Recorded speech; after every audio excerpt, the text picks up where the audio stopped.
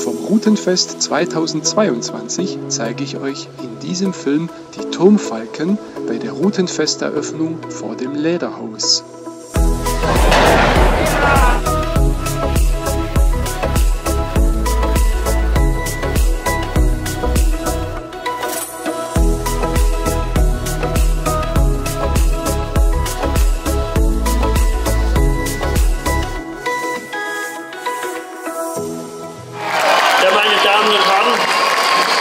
Ist mir eine ganz besondere Ehre, dass ich hier nun die Turmfalken Ravensburg e.V. begrüßen darf.